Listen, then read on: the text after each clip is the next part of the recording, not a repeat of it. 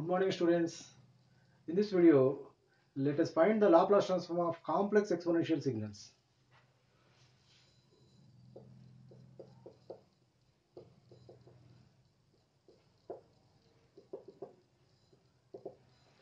We have complex exponentials e power minus j omega t u of t and e to the power of plus j omega t u of t.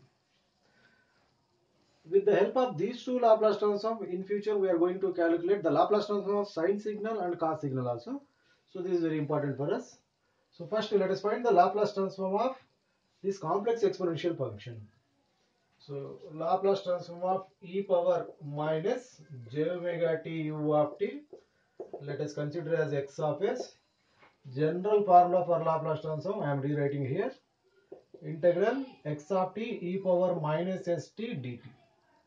Here x of t we are substituting the complex exponential function. So that x of s is minus infinity plus infinity e power minus j omega t ut and e power minus st dt. u of t is equal to 1 over the interval 0 to infinity.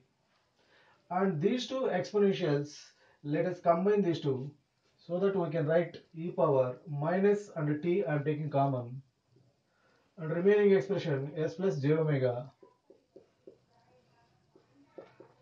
t dt. We are getting a single exponential, we can easily integrate it that is e to the power of minus of s plus j omega t divided by minus of s plus j omega is the integration with t running from 0 to infinity. Let us substitute the limits into the t.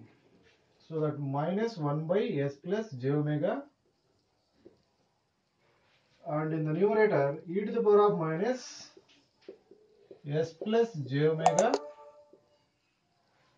And t value infinity we are substituting minus e to the power of 0 right.